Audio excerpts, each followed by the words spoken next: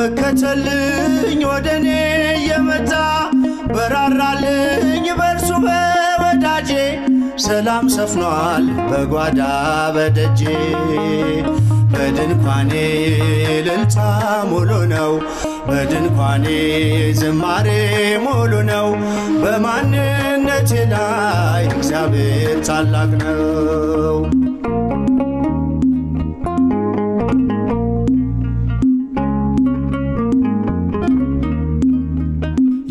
የመንገዴን ጥርጊያውን አቅንቶ የሰለለ ጉልበቴን አጥንቶ ከፊት ለፊት በድል ቀድሞልኛል። በምስጋናው ከኋላ ስቦኛል።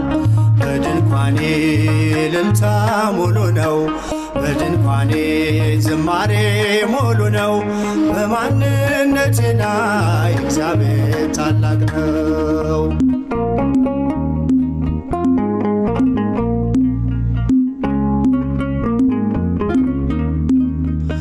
ስላልተወኝ አንዳች አጣህ ብሎ ሙሉ ሰው ነኝ የለኝም ጎደሎ በከፍታ ብኖር በዝቅታ ደስተኛ ነኝ ሁልጊዜ በጌታ በድንኳኔ እልልታ ሙሉ ነው። በድንኳኔ ዝማሬ ሙሉ ነው። በማንነቴ ላይ እግዚአብሔር ታላቅ ነው።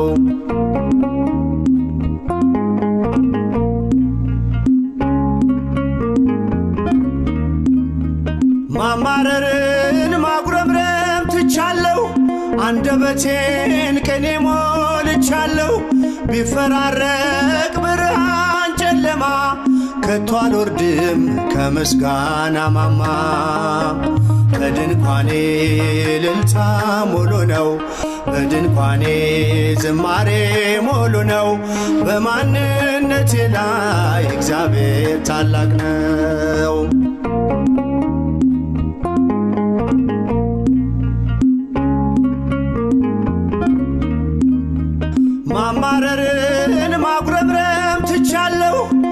አንደበቴን ቅኔ ሞልቻለሁ። ቢፈራረቅ ብርሃን ጨለማ ከቶ አልወርድም ከምስጋና ማማ። በድንኳኔ እልልታ ሙሉ ነው። በድንኳኔ ዝማሬ ሙሉ ነው። በማንነቴ ላይ እግዚአብሔር ታላቅ ነው። በድንኳኔ እልልታ ሙሉ ነው። በድንኳኔ ዝማሬ ሙሉ ነው። በማንነቴ ላይ እግዚአብሔር ታላቅ ነው።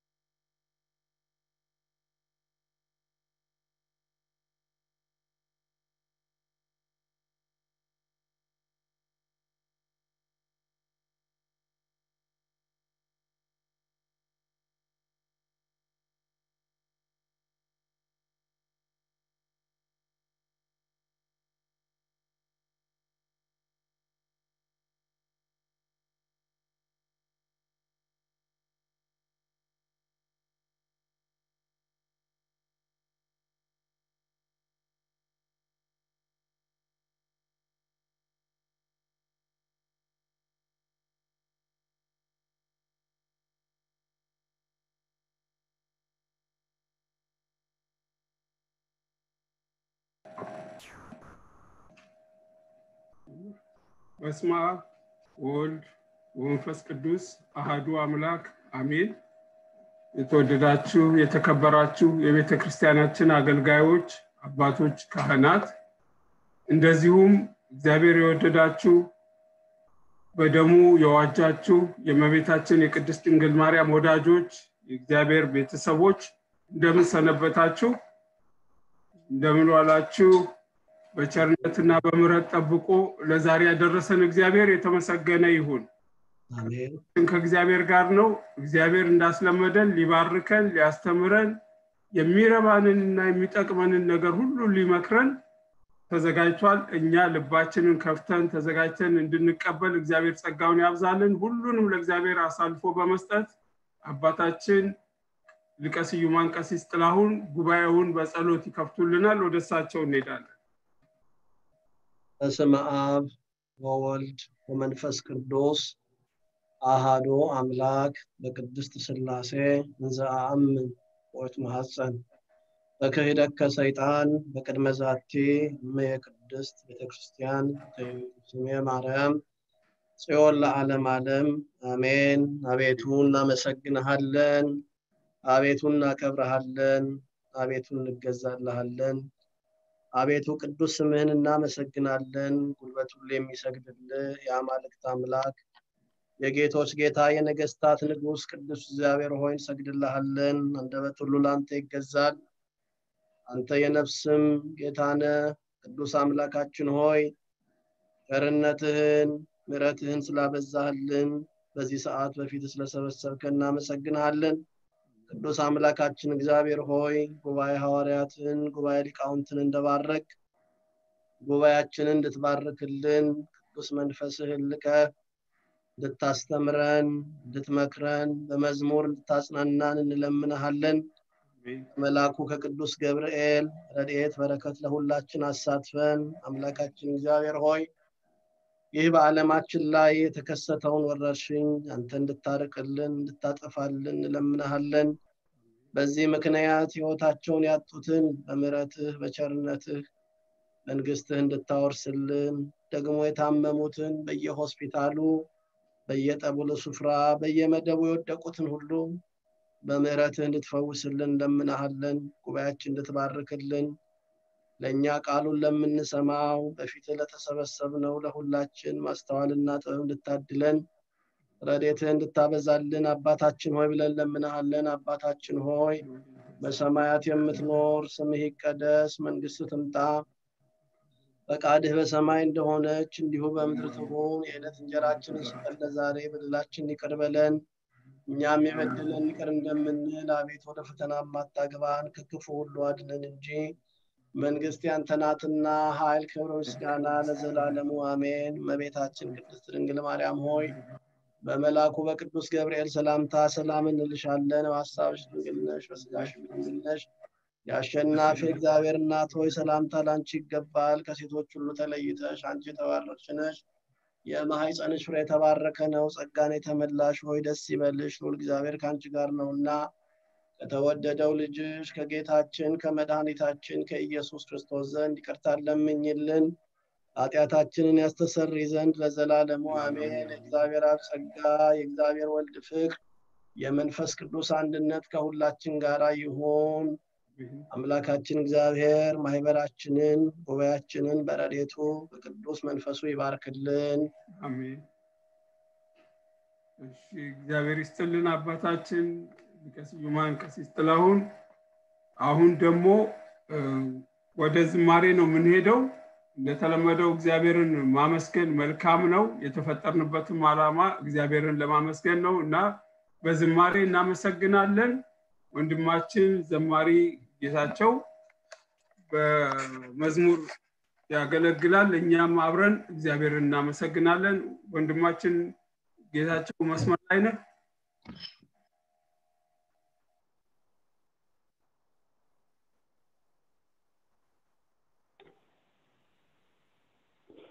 እሰማለሁ። አቶ ታፈሰ ይሰማል። ቀጥል። እሺ፣ እግዚአብሔር ይስጥልኝ። አባቶቼ ካህናት፣ ቡራኪያችሁ ይድረሰኝ።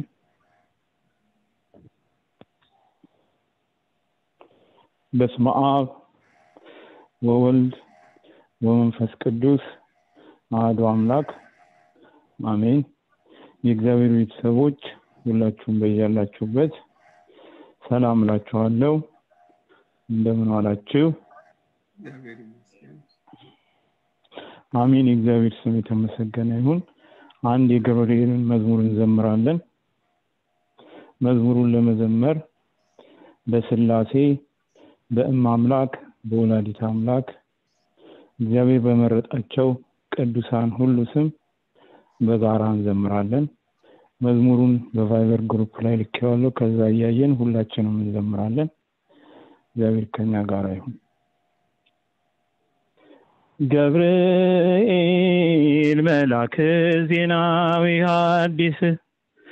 ገብርኤል መልአክ ዜናዊ ሐዲስ። ገብርኤል መልአክ ዜናዊ ሐዲስ። ገብርኤል መልአክ ዜናዊ ሐዲስ ተአዛዚ ለአምላክ ቅዱስ ተአዛዚ ለአምላክ ቅዱስ ተአዛዚ ለአምላክ ቅዱስ ተአዛዚ ለአምላክ ቅዱስ ሰላም ለኪ ያለ በክብር ሰገደላት። ሰላም ለኪ ያለ በክብር ሰገደላት። ለድንግል ማርያም ቅድስና ላላት ለድንግል ማርያም ቅድስና ላላት የአምላክ እናት ልትሆን አንቺ ተመርጠሻል። የአምላክ እናት አንቺ ተመርጠሻል። አትፍሪ ማርያም ልዑል ያጸናሻል። አትፍሪ ማርያም ልዑል ያጸናሻል።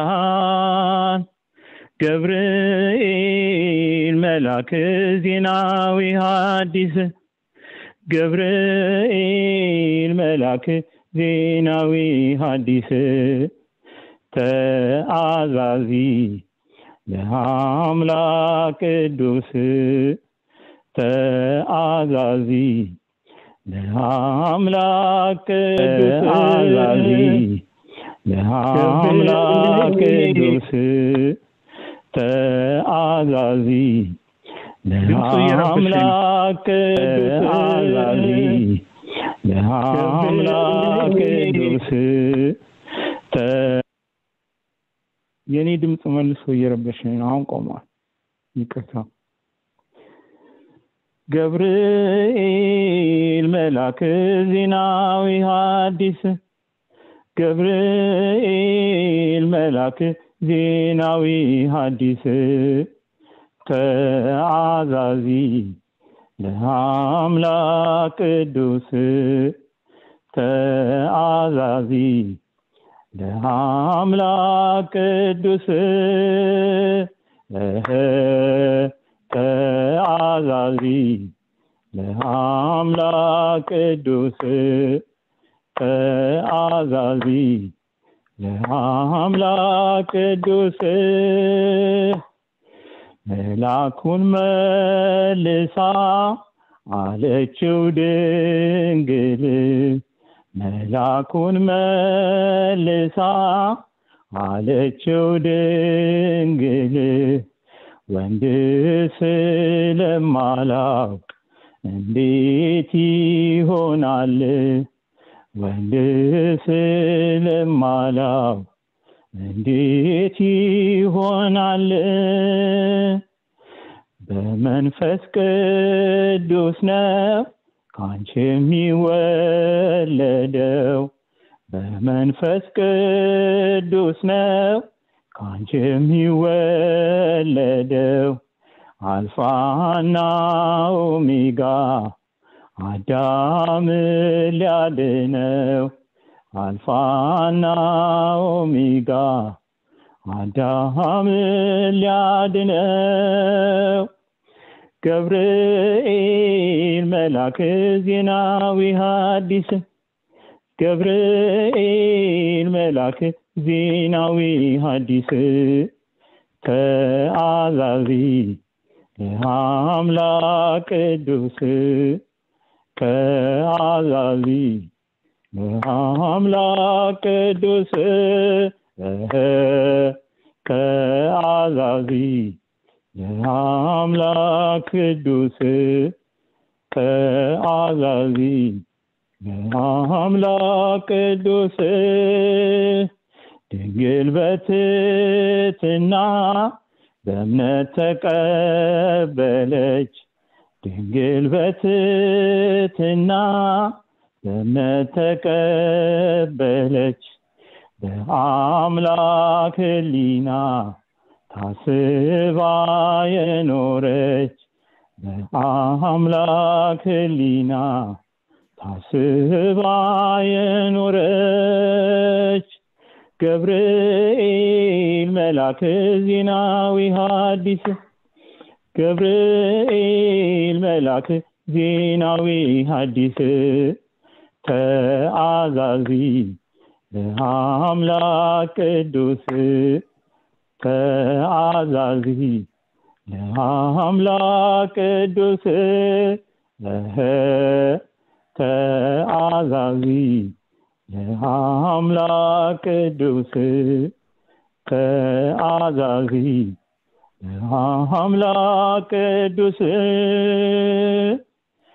ቃል ሲነገር ልስማ ጌታ ሆይ እባክህ ቃል ሲነገር ልስማ ጌታ ሆይ እባክህ ልቤን ክፈተው ልቤን ክፈተው ልቤን ክፈተው ልቤን ክፈተው የልድያ ልብ እንደከፈትከው ቃል ሲነገር ልስማ።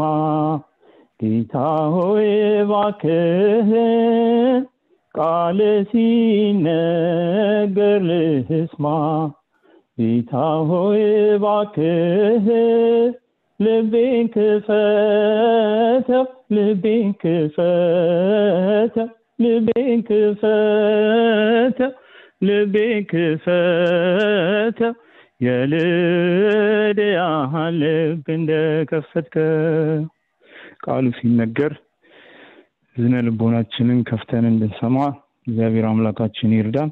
በስብሐት ለእግዚአብሔር። ማርያም መላእክት ያሰማልን። ወንድማችን ዝማሬ ጌታቸውን እግዚአብሔር ዝማሬ መላእክትን ያሰማልን፣ በአገልግሎት በእድሜ ይጠብቅልን። ወደ አሜን እንደዚህ ቤተክርስቲያንን በተሰጠ ጸጋ እንድታገለግል እግዚአብሔር ይርዳህ። አሁን ዝማሬ መልክ ልመና ሲያቀርብ ነበር ለሁላችን ሁላችንንም ወክሎ ልባችንን ክፈትና ቃል ሲነገር እንስማ። እንደ ሊዲያ የሊዲያን ልብ የከፈተው እግዚአብሔር የእኛንም ይክፈትልን። ባለፈው ታስታውሱ እንደሆነ በትምህርታችን መግቢያ ላይ ኢሳያስ 55 ላይ እግዚአብሔር የተናገረውን ቃል አስታውሻችሁ ነበር። ያ ምንድን ነው በነፃ በነፃ ጮማ ብሉ ጠጡ ሰውነታችሁን በህይወት ትኖራለች አለ። እግዚአብሔር ያን የተናገረው ስለ ህይወት ቃል ነው። እና ያን ህይወት ቃል ዛሬም እግዚአብሔር ታማኝ ነውና በአባታችን አድሮ ወደኛ ያመጣል። ከዚሁ ከኢሳያስ 55 ሁለት ቁጥር አነብላችሁና በቀጥታ ወደ ትምህርቱ እንሄዳለን። ከቁጥር 10 እና 11 ላይ ያለውን ነው ማነበው ዝናብና በረዶ ከሰማይ እንደሚወርድ ምድርን እንደሚያረካት ታበቅልና ታፈራም ዘንድ እንደሚያደርጋት ዘርንም ለሚዘራ እንጀራንም ለሚበላ እንደሚሰጥ እንጂ ወደ ሰማይ እንደማይመለስ ከአፌ የሚወጣ ቃሌ እንዲሁ ይሆናል። የምሻውን ያደርጋል የላኩትን ይፈጽማል እንጂ ወደ እኔ በከንቱ አይመለስም ይላል እግዚአብሔር። ክብር ለስሙ ይሁን። እግዚአብሔር አሁን የሚሰራውን ህያው የሆነውን ቃሉን ወደኛ ያመጣል። በተከፈተ ልብ እንድንሰማና እንድንጠቀምበት እግዚአብሔር ጸጋውን ያብዛልን። ወደ አባታችን ወደ ሊቀ ስዩማን ቀሲስ ጥላውን ነው የምንሄደው። የተጀመረውን የዮሐንስ ወንጌል ጥናት ነው የሚቀጥሉልን ደሳቸው እንሄዳል በስመ አብ ወወልድ ወመንፈስ ቅዱስ አሃዱ አምላክ አሜን።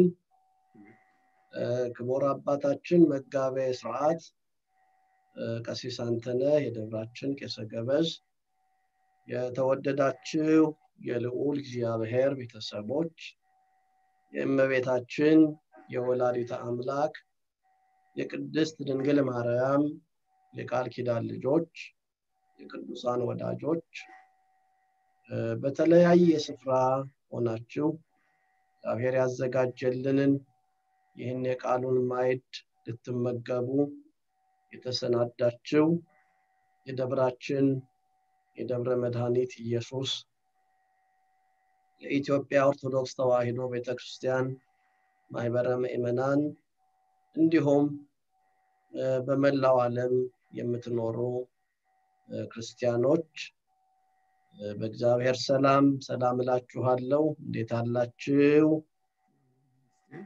ምሕረቱ ርኅራሄው ደግነቱ ብዙ የሆነ እግዚአብሔር አባታችን እግዚአብሔር ፈጣሪያችን እግዚአብሔር መጋቢያችን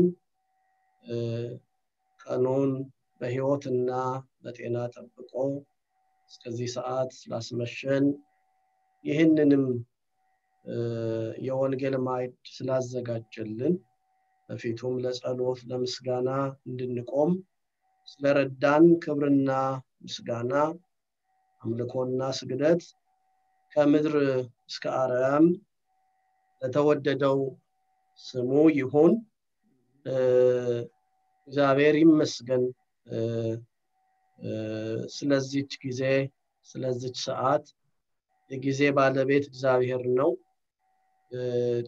እንድንማር ቃሉ እንድንሰማም እድል የሚሰጥ እግዚአብሔር ነው እና እውነት በተለያየ ስፍራ ሆነንም ቃሉ እንድናጠና እንድናመሰግነው እግዚአብሔር ስላደለን በመከራ ውስጥም ቢሆን ፈጽሞ እግዚአብሔር ስላልተወን ስላልረሳን እ፣ ስሙ ቡሩክ ይሁን። እንኳን ለታላቁ መልአክ ለቅዱስ ገብርኤል ወርሃዊ በዓል በሰላምና በጤና ደረሳችሁ። የመልአኩ ተራዳይነት ሁላችንን አይለየን። የእግዚአብሔር መልአክ በመውጣታችንና በመግባታችን ይጠብቀን። ጋሽ ቅድም እንዳሳሰቡት በቀጥታ የምናልፈው ወደ ጀመርነው የጌታችንና የመድኃኒታችን የኢየሱስ ክርስቶስ ወንጌል ከአራቱ ወንጌላውያን መካከል ቅዱስ ዮሐንስ የጻፈውን እያጠናን ነው ያለ ነው። ይሄንኑ ጥናታችንን ነው ዛሬም የምንቀጥለው። በእውነት ስለ እናንተ እግዚአብሔርን እጅግ አድርጌ አመሰግነዋለሁ። የአጥቢያችን ምእመናን በእውነት እግዚአብሔር በኑሯችሁ ሁሉ ይባርካችሁ። ለቃሉ የምታደርጉትን ትጋት በየጊዜው አስተውላለሁ። የተማራችሁትን ትምህርት በጥያቄ መልክ በዚሁ በቫይበር ግሩፓችን ላይ ስናሰራጭ ሁላችሁም በትጋት ስትሳተፉ ለተጠየቁት ጥያቄዎች የተማራችሁትን ምላሽ ስትሰጡ ያለሁና እንደ አገልጋይ ደግሞ ይሄ እኔንም የሚያበረታታኝ የበለጠ ደግሞ እናንተ እንዳገለግል የሚያተጋኝ ስለሆነ በዚህ ትጋታችሁ በዚህ መልካም ተሳትፏችሁ ከልብ አድርጌ አመሰግናለሁኝ። እንደምታስታውሱት ባለፈው ሳምንት የቅዱስ ዮሐንስን ወንጌል እያጠናን ምዕራፍ ምዕራፍ አንድን እየተመለከትን ነበር የቆየ ነው። ትዝ ይላችኋል። ምዕራፍ አንድን ከቁጥር አንድ ጀምሮ እየተመለከትን ነበር የሰነበት ነው። አሁንም ዛሬ ክፍሉን በማንበብ ነው እንድታስተውሉት የምጀምረው የቅዱስ ዮሐንስን ወንጌል ምዕራፍ አንድ ከቁጥር አንድ ጀምሮ እስከ አምስት ድረስ ያለውን አነባለሁኝ። የዮሐንስ ወንጌል ምዕራፍ አንድ ከቁጥር አንድ እስከ አምስት ድረስ በመጀመሪያው ቃል ነበረ፣ ቃልም በእግዚአብሔር ዘንድ ነበረ፣ ቃልም እግዚአብሔር ነበረ። ይህ በመጀመሪያው በእግዚአብሔር ዘንድ ነበረ። ሁሉ በእርሱ ሆነ፣ ከሆነውም አንዳችስ እንኳ ያለ እርሱ አልሆነም። በእርሱ ሕይወት ነበረች፣ ሕይወትም የሰው ልጅ ብርሃን ነበረች። ብርሃንም በጨለማ ያበራል፣ ጨለማም አላሸነፈውም የሚለውን ክፍል አንብበን ማጥናት ነው የጀመርነው። ታስታውሱ እንደሆነ ባለፈው ሳምንት ጥናታችን በመጀመሪያው የሚለውን ቃል በመፍታት ነው የዮሐንስን ወንጌል ማጥናት የጀመርነው። በመጀመሪያው ሲል ምን ማለቱ ነው በማለት ቃሉን ነው በመፍታት የጀመርነው። ዓለም ሳይፈጠር ዘመን ሳይቆጠር ሰማይና ምድር ፀሐይና ጨረቃ የፍጥረት ወገን ሁሉ ሳይኖር በመጀመሪያው ቃል ነበር ብለን ይፈታል። ይሄ በመጀመሪያው የነበረው ቃል ደግሞ አካላዊው ቃል በኩነት ስሙ ቃል የተባለው እግዚአብሔር ወልድ እንደሆነ ከብዙ ቅዱሳት መጽሐፍት ምስክርነት በማንሳት ስለ አካላዊው ቃል ስለ እግዚአብሔር ወልድ ከዘላለም እንደነበረ በማጥናት ጥናታችንን ጀምረናል። ትዝ እንዲላችሁ ነው ትንሽ ትንሽ ነገር ማነሳው። በመጀመሪያው የሚለውን ቃል በመጽሐፍ ቅዱስ ክፍላችን ውስጥ በሁለት ስፍራ የተጻፉ መጀመሪያ የሚሉትን ቃላት በማየት ነው በማነጻጸር የጀመርነው። የመጀመሪያው በኦሪት ዘፍጥረት ምዕራፍ አንድ ላይ የነበረውን መጀመሪያ ለማየት ሞክረናል። በመጀመሪያ እግዚአብሔር ሰማይና ምድርን ፈጠረ የሚለውን ተመልክተናል። ያ መጀመሪያ መጀመሪያ ያለው ወይም መነሻ ያለው መጀመሪያ እንደሆነ ጊዜን የሚያመለክት እንደሆነ ይኸውም ዕለተ እሁድ የፍጥረት ሁሉ የመጀመሪያው ቀን እንደሆነ በማንሳት በዚህ በዮሐንስ ወንጌል ምዕራፍ አንድ ላይ ከተጠቀሰው መጀመሪያው ከሚለው ጋራ ግን በፍጹም እንደማይነጻጸር ነበረ ያየ ነው። በዮሐንስ ወንጌል ላይ ያለው መጀመሪያ ወይም በመጀመሪያው የሚለው ቃል መነሻ የሌለው መጀመሪያ ወይም መጀመሪያ የሌለው መጀመሪያ እንደሆነ ነበር የተመለከት ነው። ይሄም አልፋና ኦሜጋ ፊተኛና ኋለኛ ማለት እንደሆነ በተለይ ከራእይ ዮሐንስ በርካታ የመጽሐፍ ክፍሎች አንስተን አልፋ ኦሜጋ ማለት አልፋ የፊደል ሁሉ መጀመሪያ ይሄ ኦሜጋ የሚለው ደግሞ መጨረሻ እንደሆነ በማንሳት በእኛ በኢትዮጵያውያኑ ሆሄያት ወይም ደግሞ ፊደላት የመጀመሪያው ፊደል ሀ እንደሚባለው የመጨረሻው ፊደል ደግሞ ፐ እንደሚባለው ከእስከ እንደሆነ ወይም ደግሞ ከዚህ እስከዚህ እንደምንለው ልክ እንደዚህ ሁሉ እግዚአብሔር ወልድ በዘመን የማይያዝ ከጥንት ከዘላለም የነበረ ፍጻሜ ደግሞ የሌለው ለመንግስቱ ለጌትነቱ ለስልጣኑ ዘመን ህልፈት ሽረት እንደሌለበት በማንሳት በመጀመሪያ ቃል ነበር የሚለውን ለመፍታት መጀመሪያ የሚለውን ቃል በመፍታት ነበር ትምህርታችንን የጀመርነው። ከዛ በኋላ ቃል የሚለውን ፊደል ስንፈታ ይሄ ቃል አካላዊ ቃል እንደሆነ አካላዊ ቃል እንደሆነ ይሄ ዝርው ብትን ያይደለ ቃል እንዳልኳችሁ በትምህርታችን ስላየነው ሁሉንም ነገር በመዘርዘር ጊዜ አልወስድም። በዚህ በሃይማኖት አበው ላይ ቅዱስ ጎርጎሪዎስ ዘቂሳርያ የገለጣቸውን አተርጋኦን የሚባለውን ቃለ መላእክት ቦርፎሪኮን የተባለውን ቃለ ነቢያት አአትሪኮን የተባለውን ቃለ ሰብ የሚባለውን እነኝን ሁሉ ተመልክተን በእነኚህ በሶስቱ ቃላት ውስጥ ያለው አንድነት እነኚህ አካላዊ እንዳልሆኑ ዝርው እንደሆኑ ተነጋግረን እግዚአብሔር ወልድ ግን ወይም ደግሞ በኩነት ስሙ ቃል ተብሎ የተነገረለት እኔ ባይ እንደሆነ አካላዊ እንደሆነ በማንሳት ይሄንን ሀሳብ መርምረን የቅዱሳት መጻሕፍት ምስክርነትን ለማየት ሞክረን ነበር።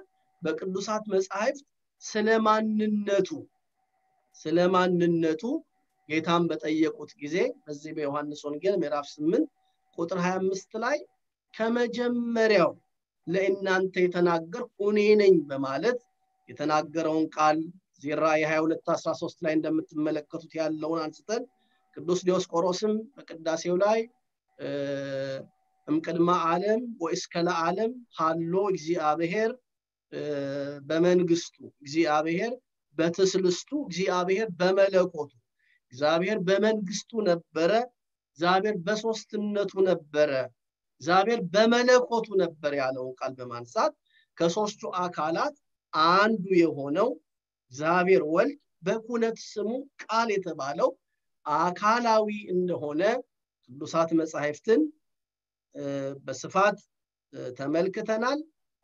ስለ ኩነት ስለሚባለውም ትምህርት በዚህ በምስጢረ ስላሴ ላይ ቃል ለወልድ እንደሆነ ኩነተ ቃል እንደሚባል አብ ደግሞ ኩነተ ልብ እንደሚባል በልብ እንደሚመስል መንፈስ ቅዱስ ደግሞ ኩነተ እስትንፋስ ለአንድ ሰው አለው ልብ አለው እስትንፋስ አለው።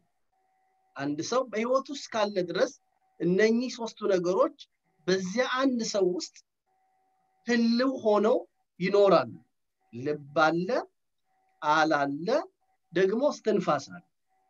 ግን ይሄ በሰው ልብ ያለው ቃል ወይም ደግሞ ፍጡር በሆነው በሰው ልብ ያለው ቃል አካላዊ ቃል የምንለውን ወልድን እንደማይገልጸው በተለይ በምስጢረ ስላሴ ትምህርት ላይ ስላሴን ለመግለጥ የምንመስላቸው ምሳሌያት ሁሉ ምሳሌ ዘይሐጽጽ እንደሚባሉ ህጹጭ እንደሆኑ ምሉ እንዳልሆኑ ለማመልከት ያህል ለመረዳት ያህል ብቻ የምንጠቀማቸው እንደሆነ ባለፈው ሳምንት ይህንንም ተመልክተናል። ከዛ በኋላ የእግዚአብሔር ቃል ወይም ቃል ተብሎ በቅዱሳት መጽሐፍት የተነገሩ የመጽሐፍ ቅዱስ ሀሳቦች ሁሉ አካላዊውን ቃል እንደማይወክሉ ለማሳየት አንዳንድ ነገሮች አይተናል። ለምሳሌ በመጽሐፍ ቅዱስ የእግዚአብሔር ህጉ ትእዛዙ ቃል ተብሎ እንደተጠራ ተነጋግረናል። ህጉ ትእዛዙ ቃል ተብሎ እንደተጠራ ተነጋግረናል። ሁለተኛ የጌታ ትምህርቱ ራሱ ቃል ተብሎ እንደተጠራ ይህ ማቴዎስ 7 24 ላይ ያለው ስለዚህ ቃሌን ሰምቶ የሚያደርገው ሁሉ ቤቱን በአለት ላይ የሰራ ልባምን ሰው ይመስላል የሚለውን በማንሳት ስለ እግዚአብሔር ቃል ቃል ተብሎ ለመጠራት ትምህርቱ የጌታ ትምህርቱ ቃል ተብሎ እንደተጠራ ህጉና ትእዛዙን ቃል ተብሎ እንደሚጠራ እነኚህ ክፍሎች ግን አካላዊ ቃል ስለሆነው ወይም እኔ ባይ ለሆነው ለእግዚአብሔር ወልድ በኩነት ስሙ ቃል ለተባለው ለእርሱ የሚገለጡ ወይም የሚነገሩ እንዳልሆኑ። እርሱ ከነዚህ ሁሉ እንደሚለይ እኔ ባይ እንደሆነ አይተን በመጨረሻ ላይ ተመልክተን ያቆም ነው እግዚአብሔር ወልድ ስለምን ቃል ተባለ የሚል አንድ ነጥብ አንስተን ነው ያቆም ነው ይኸው ቃል የሚለው ስም የእግዚአብሔርን ወልድ ማንነት የሚገልጽ ነው። ትዝ ይላችሁ እንደሆነ ቃል የሚለው ስም የእግዚአብሔርን እግዚአብሔር ወልድን ማንነት የሚገልጽ ነው። ካልን በኋላ አንድ ምሳሌ አስቀምጠን ነበር። ሰዎች በውስጣቸው የሚያስቡት ቃል ረቂቅ ሆኖ ሳለ በወረቀት ላይ በቀለም በተጻፈ ጊዜ ግዙፍ ሆኖ ይታያል። ልክ እንደዚሁ በእግዚአብሔር አብ ውስጥ ያለ በህልውና ከአብና ከመንፈስ ቅዱስ ጋር ህልው ሆኖ የነበረው ያለው እግዚአብሔር ወልድ በስጋ ማርያም በተገለጠ ጊዜ የማይመረመረው አምላክ የማይታየው አምላክ እርሱ በመታየቱ ይሄንን ሀሳብ ስለሚገልጥ ቃል ተብሏል የሚል ነጥብ ተመልክተን ያቆም ነው ዛሬም እንደ እግዚአብሔር ፈቃድ በዚሁ ሀሳብ መነሻነት ነው የምንቀጥለው። ዛሬም የምናየው ከዚህ ጋር ተያይዞ የሚነሱ ሁለት ነጥቦችን ነው። ወንጌላዊው ቅዱስ ዮሐንስ ስለ እግዚአብሔር ወልድ ሲናገር ቃል በማለት በኩነት ስሙ ለምን መጥራት አስፈለገው? የሚለውን ቅድም እግዚአብሔር ወልድ ማንነት ጋራ የሚመሳሰል ስለሆነ ብለን አንዱን ተመልክተናል። ዛሬም ጨምረን እንመለከታለን።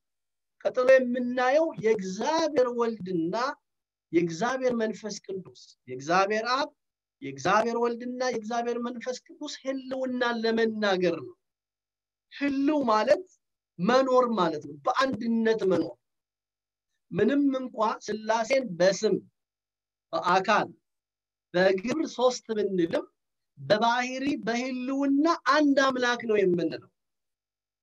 ደግሜ ነግራችኋለሁ ሁላችሁም እንደምታውቁት ምስጢረ ስላሴ ስንማር ስላሴን በስም ሶስት እንላለን። አብ ወልድ መንፈስ ቅዱስ ማለታችን ነው። በአካል ሶስት እንላለን። ለአብ ፍጹም አካል ፍጹም መልክ ፍጹም ገጽ አለው እንላለን። በግብር ሶስት እንላለን። አብ ወላዲ ነው ወልድ ተወላዲ ነው መንፈስ ቅዱስ ሰራጺ ነው እንላለን። በዚህ ሶስት ብንል እንኳ ምንም ለአጠይቆ አካላት ሶስት ብንል በባህሪ በህልውና አንድ ነው አንድ አምላክ ነው የምንለው። ከዚህ የተነሳ ነው አባቶቻችን ምስጢረ ስላሴን ሲገልጡ የሚገልጡበት ቃል ልዩ ሶስት የሚል አንድነት ያለበት ሶስትነት ሶስትነት ያለበት ደግሞ አንድነት ነው ይሄ የማይመረመር ልዩ ሶስት ይባላል።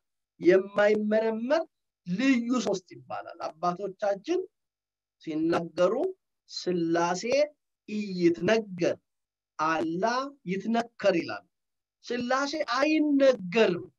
እኛ የገለጠልንን ያህል ባለቤቱ የገለጠልንን ያህል ሊቃውንት ያስተማሩትን ሊቃውንት ያቆዩትን ያህል ጥቂት እንናገራለን እንጂ እግዚአብሔር የማይደረስ ነው እግዚአብሔር።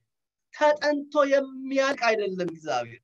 ባህሪው ማንነቱ ተጠንቶ ተመርምሮ የሚያልቅ አይደለም የሚደነቅ ነው እንጂ። ተደንቀን እጹብ እጹብ ብለን ምንተወው ነው?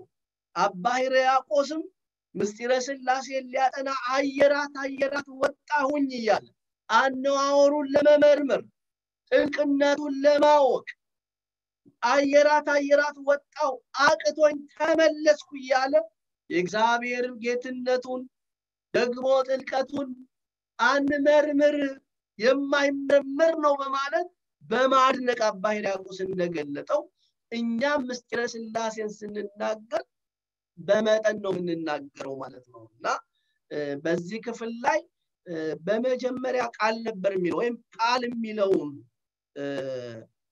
ሀሳብ ለምንድን ነው የተጠቀመው? ወንጌላዊ ወልድ ብሎ ለምን አላለው ወልድ ብሎ ለምን አላለውም ሲባል አባቶች ብዙ ምስጢር አላቸው። ወልድ ማለት ልጅ ማለት ነው። ቅዱሳን መላእክት እንኳ የእግዚአብሔር ልጆች ተብለው ተጠርተዋል። እኛም በጸጋ የእግዚአብሔር ልጆች ተብለን ተጠርተናል። በእርግጥ የእግዚአብሔር ወልድ ልጅነት የባህሪው ነው። በደንብ ደግሜ ነግራችኋለሁ አንድን ሀሳብ ደግሜ የምናገረው በልቡናችሁ እንዲሰርጽ ነው። በህሊናችሁ ውስጥ እንዲቀር ነው። በልቡናችሁ እንዲሰርጽ በህሊናችሁ ሰሌዳ በልቡናችሁ ሰሌዳ እንዲጻፍ ነው የእኛ ልጅነት የጸጋ ልጅነት ነው። እኛ በጥምቀት ከእግዚአብሔር ወይም ከስላሴ እንወለዳለን። የስላሴ ልጅ እንባላለን። ይሄ ልጅነት የጸጋ ልጅነት ነው። ከእግዚአብሔር የሚሰጥ ነው የእግዚአብሔር ወልድ ልጅነት ግን የባህሪው ነው። አካል ዘይም አካል ባህሪ ዘም ባህሪ። በማይመረመር ረቂቅ በሆነ ልደት እግዚአብሔር ወልድ ከአብ ተወልዷል። ስለዚህ እዚህ ክፍል ላይ ቃል የሚለውን መጠቀም የፈለገው ከብዙ ነገር ለመለየት ልጅ ብሎ መጠቀም ይችል ነበር። ሌሎችም ስለ እግዚአብሔር ወልድ የተነገሩትን ስሞች መጠቀም ይችላል እና ቃል በሚለው በዚህ ቃል በሚለው ሀሳብ ግን የተገለጠ አንዳች ነገር የለም። እግዚአብሔር ቃል የተባለ ወልድ ብቻ ቃል አካላዊ ለዚያውን ተብሎ የተጠራ እግዚአብሔር ወልድ ብቻ ነው እና የአብ የወልድ የመንፈስ ቅዱስን ህልዋን መሆናቸውን ወይም ህልውናቸውን አንድነታቸውን ለመጥቀስ ቃል ብሎታል።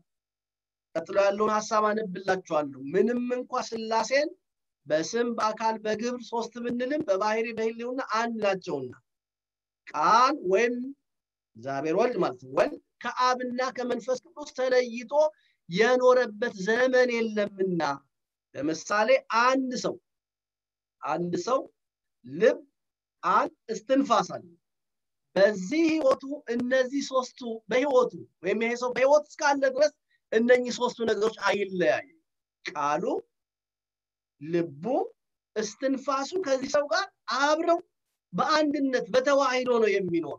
ልክ እንደዚህ ሁሉ አብ ወልድ መንፈስ ቅዱስ ህልዋን ናቸው። የአካል ሶስትነት ብንኖርም ብንናገርም የባህሪ አንድነታቸው ተከፍሎ የለበት አብ ከወልድ ተለይቶ የኖረበት ዘመን የለም። ወልድም ከአብና ከመንፈስ ቅዱስ ተለይቶ የኖረበት ዘመን የለም ፀሐይ እስካለች ድረስ ሙቀቷ ብርሃኗ ክበቧ አብረዋታል። ስለ ፀሐይ ስንናገር ፀሐይ ላይ ሶስት ነገሮች እናያለን። በአንድ ፀሐይ ማለት ነው። አባታችን አባ ሕርያቆስም ቅዳሴ ማርያም ላይ አብ ፀሐይ ነው ወልድ ፀሐይ ነው መንፈስ ቅዱስም ፀሐይ ነው እያለ ሲናገር እንሰማዋለን። ስለዚህ ፀሐይ ሶስት ነገር አላት ሙቀት አላት ብርሃን አላት ክበብ አላት። ክበቡ የአብ ምሳሌ ነው። ብርሃኑ የወልድ ምሳሌ ነው። ሙቀቱ የመንፈስ ቅዱስ ምሳሌ ነው። እነኚህ ሶስቱ ሶስት ፀሐይ አይሰኙም። አንድ እንደሚባሉ ሁሉ ሶስቱ አካል አንድ እግዚአብሔር ማለት ነው እና ህልውናን ለመግለጥ ቃል የሚለውን ሀሳብ ተጠቅሟል። ሁለተኛ ቅድምናቸውን ለማጠየቅ ነው ቅድምናቸውን ለማሳየት ከዘለዓለም የነበሩ መሆናቸውን ለማሳየት ወይም ደግሞ አንዱ ከአንዱ በአነዋወር የማይቀድም መሆኑን ለማሳየት ነው። አሀቲ ቅድምናሆሙ ለስላሴ ህልዋን እሙንቱ በአብ እንዘ ይሄልው በበአካላቲሆሙ። እነኚህ ሶስቱ አካላት በአንድነት አብረው የኖሩ ናቸው። አብ ከወልድ ሳይለይ ወልድም ከመንፈስ ቅዱስ ሳይለይ አሀቲ ቅድምናሆሙ ለስላሴ ወእሮያን እሙንቱ በቅድምና። ይህን ቃል ያዙልኝ። አሀቲ ቅድምናሆሙ ለስላሴ ወእሮያን እሙንቱ በቅድምና። በቅድምና አንዱ ከአንዱ ሳይለይ አንዱ ከአንዱ ሳይበልጥ አብ በኖረበት ዘመን ሁሉ ከዘላለም ወልድም ነበረ። ከዘላለም መንፈስ ቅዱስም ነበር። እንደ ፍጥረት ስርዓት አይደለም። አብርሃም በኖረበት ዘመን ይስሐቅ የለም። ይስሐቅ በኖረበት ዘመን ያዕቆብ የለም። አባታችን አባ ሕርያቆስም በቅዳሴ ማርያም ድርሰቱ ላይ አብርሃም በፍጥረት ስርዓት ይስሐቅ እንደሚያዘው አይደለም አባት በመሆን አብ ልጁን ወልድን ማለት ነው። አያዘውም። ወልድም ልጅ በመሆን አይበልጥም። መንፈስ ቅዱስም ትክክል ነው። መለኮት ግን አብ ወልድ መንፈስ ቅዱስ ነው። አንድ አምላክ አንዲት መንግስት አንዲት ስልጣን አንዲት አገዛዝ ነው ይላል ቅዳሴ ማርያም ላይ። ሁላችሁም ታስታውሳላችሁ። ስለዚህ ቅድምናቸው አንዱ ከአንዱ ተለይቶ የኖረበት ዘመን እንደሌለ ለማጠየቅ ቃል በሚለው ስም መጠቀምን ወዷል። እግዚአብሔር ወልድ በዚህ በዘመነ ነቢያት በተለያዩ ስሞች ተጠርተዋል በተለያዩ ስሞች ተጠርተዋል በእርግጥ ለምሳሌ እጁ ተብሎ ተጠርቷል።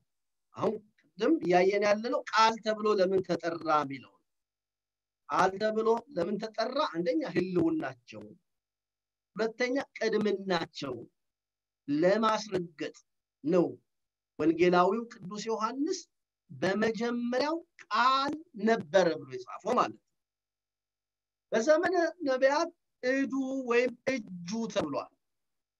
የአብ እጁ ተብሎ ተነግሯል። መዝሙር እዚህ መዝሙር 143 ቁጥር 7 ላይ ልበ አምላክ ዳዊት ፈኑ እዴከ እማርያም።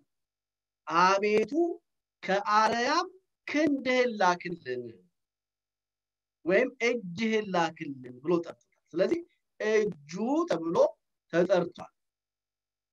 በሌላ ክፍል ላይ ደግሞ ክንዱ ወይም መዝራዕቱ ተብሎ ተጠርቷል። እዚህ መዝሙር 76 ቁጥር 15 ላይ እግዚአብሔር ወልድ ቅድም እንዳልኳችሁ ቃል ተብሎ ከተጠራበት ስሙ ውጭ እዱ ወይም እጁ ክንዱ ወይም መዝራይቱ ተብሎ ተጠርቷል። በዚህ በመዝሙር 76 15 ላይ ወአድኃንኮሙ ለሕዝብከ በመዝራይትከ። የቅዳሴ ሉቃስ ወንጌል ሲነበብ መርገፉን ታስታውሱታላችሁ። ይህን ቃል እንለዋለን። ዳዊት ግን በዚህ በመዝሙር 76 ቁጥር 15 ላይ ህዝብህን በክንድህ አዳንካቸው ብሎታል ሁልጊዜ የምናገረው ትዝ ይላችሁ እንደሆነ የወደቀን ለማንሳት እጅ ከክንድ እንደማይለይ የወደቀን ለማንሳት እጅ ከሰውነት እንደማይለይ እግዚአብሔር ወልድም ከባህሪ አባቱ ከአብ ከባህሪ ህይወቱ ከመንፈስ ቅዱስ ሳይለይ የወደቀውን አዳም አንስቶታል። በእጅ ሁሉን ይሰራሉ በእጅ የተሰበረውን ይጠግናሉ በእጅ የወደቀውን ያነሳሉ በክንድ የተጨቆነውን ነፃነት ያወጣል ልክ እንደዚህ ሁሉ የተጨቆነውን አዳም የወደቀውን አዳም የተሰበረውን አዳም እዱ መዝራዕቱ ለአብ የተባለው ወልድ በዚህ ስም የተጠራው ያደረገውን ነገር ለመናገር ወይም የሰራውን ስራ እግዚአብሔር በዘመን ፍጻሜ ይሄ ክንዱ የተባለው ወይም ደግሞ እጁ የተባለው ልጁን ልኮ ያደረገውን ነቢያት አስቀድመው የተናገሩት የመጽሐፍ ቅዱስ ክፍል ነው እና ቃል ከሚለው ስም ባሻገር እጁ ተብሎ ተጠርቷል እግዚአብሔር ወልድ ክንዱ ተብሎ ተጠርቷል ቀኙ ተብሎ ተጠርቷል ቀኙ ተብሎ ተጠርቷል። መዝሙር 118 እንድትይዙት ነው ይህን ጥቅስ። መዝሙር 118 ቁጥር 15 ላይ የማነ እግዚአብሔር ገብረት ኃይለ የሚል ቃል የማነ እግዚአብሔር ገብረት ኃይል። የእግዚአብሔር ቀኝ ታላቅ ነገር አደረገች ወይም ኃይልን ታደርጋለች ይላል። የአብ ቀኙ ተብሏል። ስለዚህ የማነ እግዚአብሔር ወይም የማኑ ቀኙ የተባለው እግዚአብሔር ወልድ ያደረገውን ቸርነቱን ኃይሉን ታላቅነቱን ለመግለጥ ሌላው ልጁ ተብሎ ተጠርቷል በብሉይ ኪዳን ዘመን። ልጁ ተብሎ ተጠርቷል። ምክንያቱም ልጅነቱ ከዘለዓለም ነው። እግዚአብሔር አብ አካል ዘም አካል ባህሪ ዘም ባህሪ ከዘለዓለም ተወልዷል። ሁለተኛው ልደቱ ነው። ምክንያቱም ቤተክርስቲያናችን ነአምን ክሌተ ልደታት ትላለች። ለወልድ ሁለት ልደት እንዳለው እናምናለን። አንደኛው ልጁ አንደኛው ልደቱ ከዘላለም የሆነ የነበረው ዘመን የማይቆጠርለት አካል ዘእም አካል ባህሪ ዘም ባህሪ የሆነው ሁለተኛው ልደቱ ከድንግል ማርያም የተወለደው። ስለዚህ ልጁ ወይም ወልዱ ተብሎ እዚህ መዝሙር 109 ወይም በቅንፍ ውስጥ 110 ቁጥር 3 ላይ ወለድኩከ እምከርስ እምቅድመ ኮከበ ጽባ ከአጥቢያ ኮከብ አስቀድሞ ከዘመና ፍጥረት ሳይፈጠር ወለድኩህ ብሎ ተናግሮለታል። እና በእነኚህ ሁሉ ስሞች ተጠርተዋል። ግን ቃል የሚለውን የተጠቀመበት ትልቁ መንገድ የአብ የወልድና የመንፈስ ቅዱስ የሶስቱን አካላት አንድነታቸውን በስልጣን በቅድምና አንድ መሆናቸውን ለማጠየቅ ለማስረዳት ቃል የሚለውን ሀሳብ ወይም ደግሞ ስም የኩነት ስም ተጠቅመዋል ማለት ነው። ወንጌላዊው ቅዱስ ዮሐንስ ይህን ካለ በኋላ በመጀመሪያው ቃል ነበረ ካለ በኋላ ቃልም እግዚአብሔር ነበረ አያችሁ ከሌላው ቃል ሲለየው ትናንት ከትናንት ወዲያ ካየ ናቸው አተርጋውን ቦርፎሪኮን እያል አአትሪኮን እያል ቃለ መላይክ ቃለ ነቢያት ቃለ ሰብ እያልን ከጠራ ናቸው ሲለይ ይሄ ቃል ማን አካላዊ ነው አልና እንደገና ደግሞ ማነዋል እግዚአብሔር ነዋል ቃልም እግዚአብሔር ነበረ እንዴት ደስ ይላል? እንዴት ደስ ይላል? እንዴት እንደሚገባችሁ አሁን እውነቴን ነው ምላችሁ ይሄን የሰማችሁ ይሄን የተረዳችሁ ሰዎች እግዚአብሔር ማን እንደሆነ የመጽሐፍ ቅዱስ ትልቁ በጣም ብዙ ሀሳቦችን የነገረ መለኮት ጥልቅ ሀሳቦችን የያዘ የዮሐንስ ወንጌል። ይህን የተረዳ ሰው ሌሎች የመጽሐፍ ቅዱስ ሀሳቦችን ለመረዳት ብዙ አይቸገር ስለዚህ ልባችሁን አስፍታችሁ ሊናችሁን አንቅታችሁ በኋላም እየገባችሁ እየደጋገማችሁ እየደጋገማችሁ ይህንን መልእክት በማድመጥ ነገሩን እንድታስተውሉ እግዚአብሔር ያብራላችሁ። እግዚአብሔር ያብራልን ይግለጥልን እግዚአብሔር ካረዳም በቀር አንረዳውም። እግዚአብሔር እና አባ ጊዮርጊስ እና አባ ሕርያቆስ ሌሎቹ ቅዱሳን አባቶቻችን እግዚአብሔር አብርቶላቸው አብርሆቱን ሰጥቷቸው እነሱ የተረዱትን አባቶቻችን ለእኛ ዘመን አደረሱ። እኛ ደግሞ ለሚቀጥለው ትውልድ ማድረስ አለብን። እና አንዳንድ ጊዜ እንደ የስንፍና እንደ ይከብደኛል። እንዴት እረዳዋለሁ እያል ሳናውቀው ሳንማረው ሀሰተኛ መምህራን መጥተው አንድ ነገር ሲሉን ልንታለል እኮ ነው ወዳጆች። እውነቴን የምላችሁ። ይሄ በተለይ በዮሐንስ ወንጌል ምዕራፍ አንድ ከቁጥር አንድ እስከ ሶስት ድረስ ባለው ትምህርት ብዙ ብዙ ብዙ መናፍቃን ተረድተዋል። እነ መቅዶኒዎስ በዚህ ትምህርት ተረድተዋል። እነ አሪዎስ በዚህ ትምህርት ተረድተዋል። እነ ማኒ በዚህ ትምህርት ተረድተዋል። ሌሎችም መናፍቃን በዚህ ትምህርት ተረድተዋል። ይሄ ትምህርት በጣም ጠንካራ ነው በዚህ ሀሳብ ቃል ብዙ አባቶቻችን ይህን ተርጉመው መናፍቃንን በአፍ በመጽሐፍ ተከራክረው አሳፍረዋል። ስለዚህ ይህን ማወቅ የእውቀት ሁሉ አስኳል ነው። እውነቴን ነው ምላችሁ ዮሐንስ ወንጌል ማወቅ የእውቀት ሁሉ አስኳል ነው እና ነቃ ብላችሁ ልባችሁን አስፍታችሁ እንድትሰሙ አሁንም በእግዚአብሔር ፍቅር እመክራለሁ። አሁን እያየን ያለ ነው ሁለተኛውን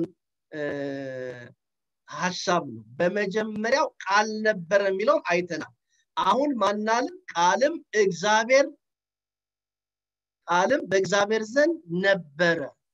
ቃልም በእግዚአብሔር ዘንድ ነበረ። መጽሐፍ ቅዱሳችሁን አውጡ በመጀመሪያው ቃል ነበረና ቃልም በእግዚአብሔር ዘንድ ነበረ። ይህ ማለት ይላል ቃል ወይም ወልድ ከእግዚአብሔር አብ ጋራ ከእግዚአብሔር መንፈስ ቅዱስ ጋራ በአንድነት በተዋሂዶ ይኖራል ማለት ነው በእግዚአብሔር ዘንድ ነበረ።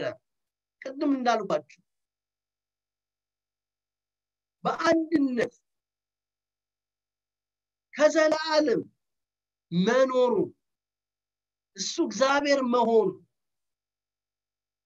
ቅድም እንዳልነው እንደው ከንጉስ ዘንድ ተጠግቶ እንደሚኖር ከመምህሩ ዘንድ ተጠግቶ እንደሚኖር ተማሪ አይደለም። እርሱ ራሱ ማን ነው ቃልም እግዚአብሔር ነበረ። ከእግዚአብሔር ዘንድ ነበረ ያለውን በኋላ እግዚአብሔር ነበረ ብሎ ይነግረናል። ይሄ ከእግዚአብሔር ዘንድ መኖር የጥገኝነት አይደለም የእግዚአብሔርነቱን ከዘላለም መኖሩን ነው። በማይሰፈር ዘመን ዓለማትን ሁሉ የፈጠረ መሆኑን ለማጠየቅ ቃልም በእግዚአብሔር ዘንድ ነበረ ቃልም በእግዚአብሔር ዘንድ ነበራል ከአብና ከመንፈስ ቅዱስ ጋር የነበረ መሆኑን ለመናገር ማን? ቃል። አብ ይላል ቀጥሎ አንድባችሁት ከሆነ በስሙ በማን ስሙ?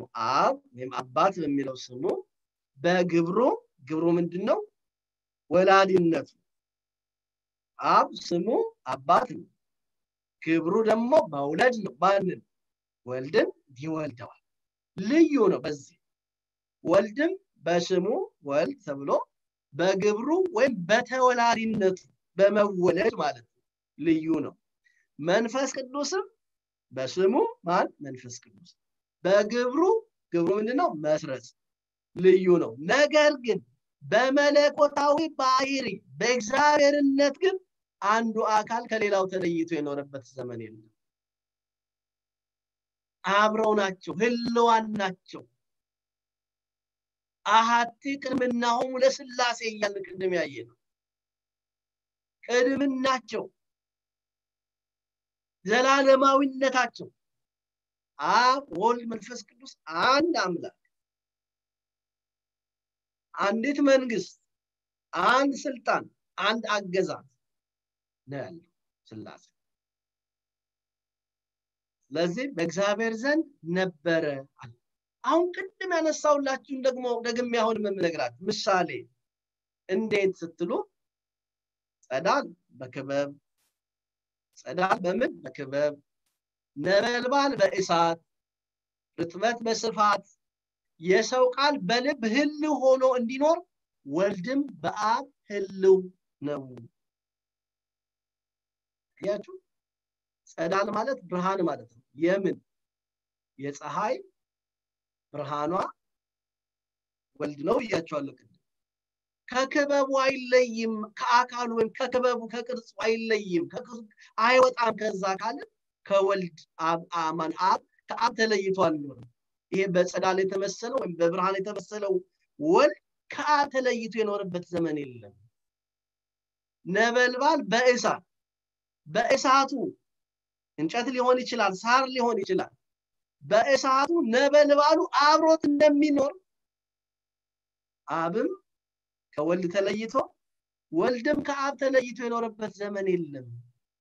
በሰው ልብም ውስጥ የሚመላለስ የሚወጣና የሚወርድ ቃል እንዳለ ሁሉ በሰው ልብ ውስጥ ያለው ቃል ልቡ ከቃል እንደማይለይ ወልድም ከአብ አልተለይም አብረው ነበሩ ከዘላለም። ቃልም በእግዚአብሔር ዘንድ ነበረ እያልን ያለን። ቃልም በእግዚአብሔር ዘንድ ነበረ። የፀሐይ ብርሃን በፀሐይ ክበብ ልክ እንደሚኖር ቃል የተባለ ወልድም ከአብ ጋራ በአንድነት ይኖራል ማለት ነው። በምስጢረ ስላሴ ምስጢረ ስላሴ በፀሐይ ይመሰላል። ክበቡን ለአብ ብርሃኑን ለወልድ ሙቀቱን ለመንፈስ ቅዱስ። ይሄ ምሳሌ ጎደሎ ምሳሌ ነው። እንድንረዳው አባቶቻችን በጥቂቱና አባ ሌሎቹም ሊቃውንት የቀደሙ ሊቃውንት ይህንኑ ነገር እንደው ለዚህ ውሱን ለሆነች አእምሯችን ትንሽ ለሆነች አእምሯችን እንድንረዳው የሰጥ ይሄ ምሳሌ ፍጹም ነው ማለታችን ግን አይደለም። ይህን ከተረዳችሁ በኋላ ይሄ በእግዚአብሔር ዘንድ ነበረ የተባለው ቃል በሶስተኛው ክፍል ላይ ቃልም እግዚአብሔር ነበረ ብሎ አመጣ ማነበረ እግዚአብሔር። እንዴት ደስ ይላል! አካላዊ ቃል እያለ ያመጣው በመጀመሪያው ቃል ነበረ አለው። ቃልም በእግዚአብሔር ዘንድ ነበር ከአብ ጋር ነበረ ብሎ ነገረን። አረ ከአብ ጋር መኖር ብቻ አይደለም ከጌታው ጋር እንደሚኖር ሎሌ አይደለም። ራሱ ምንድን ነው ጌታ ነው ራሱ እግዚአብሔር ነው። ራሱ ፈጣሪ ነው። ከመምህሩ ተጠግቶ እንደሚያስተምር ደቀ መዝሙር አይደለም። ራሱ ምንድን ነው? እግዚአብሔር ነው። ስለዚህ ቃልም እግዚአብሔር ነበር አለ። እንዴት ደስ ይላል? ቃልም እግዚአብሔር ነበር። ስለዚህ ቃል የተባለው እግዚአብሔር ነው እያለ ነው ወዳጆች ቃል የተባለው እግዚአብሔር ነው። እግዚአብሔር ነው እንዴት ደስ ይላል? እየተረዳችሁ እንደሆነ አምናለሁ እያስተዋላችሁ እንደሆነ አምናለሁ። እንደው አሁንም ደጋግሜ በፍቅር ለምናችኋለሁ። ይህን እናስተውላችሁ የተረዳችሁ እንደሆነ ይህን አስተውለን የተረዳን እንደሆነ ሁሌ አብረን ይሄንን እኔም ከእናንተ ጋር እየተማርኩ አባቶቻችን በተለያዩ ቅዱሳት መጽሐፍት ያስቀመጡትን ያኖሩትን በትርጓሜ ወንጌል ያስቀመጡትን በሃይማኖት አበው አባቶቻችን ሰለስቱ ምዕት የጻፉትን ይህንን አብረን እያጠናን ከሄደ ትንሽ ለእግዚአብሔር እናውቃል ሰው ስለሚያመልከው አምላክ በደንብ ካወቀ ጌታውን ያወቀ ሰው ጌታው እንዴት ታላቅ እንደሆነ ያውቃል። ጌታው ታላቅ ከሆነ ደግሞ ያ ጌታው እንዴት ያለ ክብር እንዳዘጋጀለት ይረዳል። እና ልባችሁን ሰፋ አድርጎ በመጀመሪያው ቃል ነበረ አየን ቃልም በእግዚአብሔር ዘንድ ነበር። አየን ቃልም እግዚአብሔር ነበረ። በእግዚአብሔር ዘንድ ነበረ ስላለው ቃል ወይም ወልድ ማንነት ሲናገር ቃልም እግዚአብሔር ነበረ ብሎ በግልጥ አብራርቶታል። አሁን አብራራ አያችሁ? ወንጌላዊ ቅዱስ ዮሐንስ የተናገረውን እየተረጎመ የተናገረውን እያብራራ የጠየቀውን እየመለሰ የሚጽፍ ጸሐፊ ነው። እንዴት ታላቅ ነው? ስለዚህ ቃል ማን ነው የሚለውን ለመመለስ ሌላ ቦታ እንዳክርም ማለት ነው።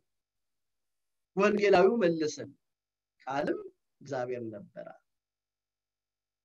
ቃልም እግዚአብሔር ነበረ።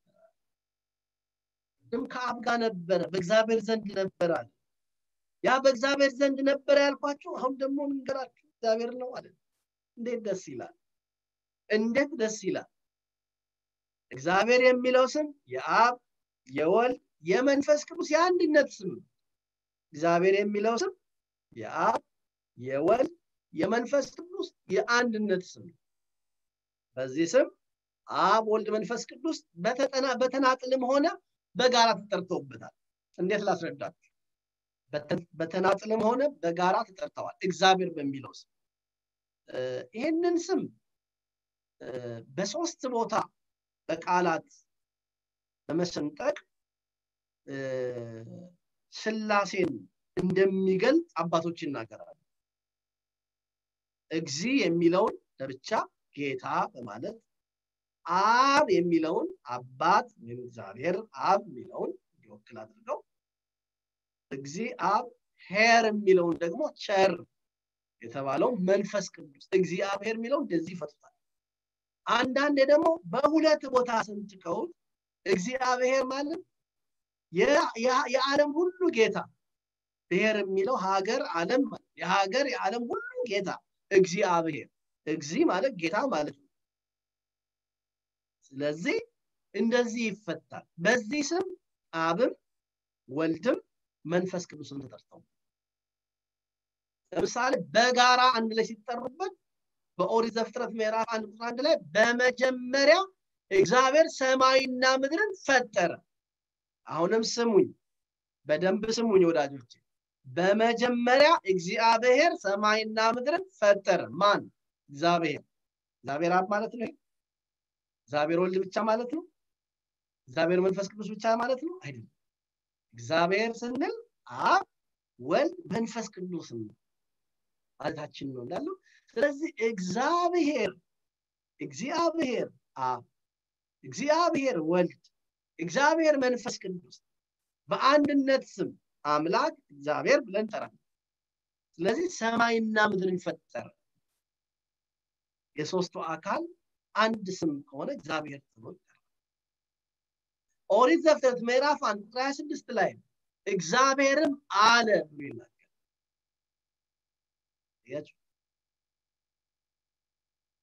ስለዚህ እግዚአብሔር የአንድነት ስም ነው። ይሄ በጋራ አብ ወልድ መንፈስ ቅዱስ ይጠራል በተናጥል ደግሞ አብ እግዚአብሔር ብቻ ተብሎ ተጠርቷል። አብ ራሱ እግዚአብሔር ተብሎ ተጠርቷል። አብ ራሱ ማን ተብሎ ተጠርቷል? እግዚአብሔር ተብሎ ተጠርቷል። በዚህ በዮሐንስ ወንጌል ምዕራፍ 3 16 ላይ እግዚአብሔር አንድያ ልጁን እስኪሰጥ ድረስ ዓለሙን እንዲሁ ወዷል የሚል ቃል እናገኛለን እግዚአብሔር አንድያ ልጁን እስኪሰጥ ድረስ ዓለሙን እንዲሁ ወዷል። ምን ማለት ነው? እግዚአብሔር አብ ማለት ምኑን የሰጠ? አንድያ ልጁን የሰጠ። ስለዚህ እግዚአብሔር አንድያ ልጁን እስኪያድረስ የተናገረን ስለማን ነው? ለአብ። በተናጠል ተጠርቶበታል ማለት ነው። በሐዋርያት ስራ ምዕራፍ መንፈስ ምዕራፍ አምስት ላይ ደግሞ መንፈስ ቅዱስ እንደዚሁ እግዚአብሔር ተብሎ ተጠርቶ እንመለከታል እና በዚህ ቃልም እግዚአብሔር ነበረ በሚለው ሀሳብ ቤተክርስቲያን ብዙ መናፍቃንን ረታለች ብዬ ቀድሜ ነግሬያችኋል። ለምሳሌ አሪዎስ በዚህ ትምህርት ተወግዟል። አሪዎስ ወልድ ፍጡር ነው ብሎ የሚያምን ወልድ ፍጡር ነው ብሎ አሪዎስ ሲያምን ከመቤታችን ስጋን በነሳ ጊዜ ወይም የፈጠረውን ስጋ አምላክ በተዋሃደ ጊዜ ማለቱ አይደለም። አሪዎስ ወልድ ፍጡር ነው ብሎ ሲናገር ምን ማለቱ ነው? ወልድ ፍጡር በባህር መለኮቱ ምሳሌ ስምንት ሀያ አምስትን አንስቶ ነው። አሬዎስ እግዚአብሔር ወልድን ፈጥሮ ፈጠረበት ብሎ የሚናገር። ስለዚህ እግዚአብሔር ወልድነትን እግዚአብሔር ወልድን አምላክነት አይቀበልም የወልድን የባህሪ አምላክነት አሬዎስ አይቀበልም። አባቶቻችን አሬዎስን ሲረሱት ምን አሉ? መጀመሪያ ቃል ነበር የሚለውን ሰማ አሉታው ስለዚህ ይሄ ቃል እግዚአብሔር ነበረ ብሎ ተናግሮታል። አያችሁ እንዴት እንደረቱ ይሄ ቃል ማን ነው እግዚአብሔር ነው ብለው ነግረውታል። ስለዚህ አሬዎስ የተረታበት ትምህርት ነው። ብዙ መናፍቃን በዚህ በዮሐንስ ወንጌል ትምህርት ተረተዋል። ይሄን ማወቅ እንዴት ያለ ድንቅ ነገር መሰላል ወልድ ፍጡር በባህሪ መለኮቱ የሚል ነው።